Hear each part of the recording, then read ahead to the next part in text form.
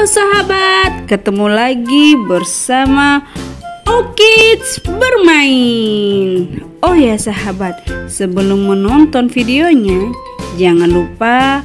klik subscribe, share, like, dan lonceng ya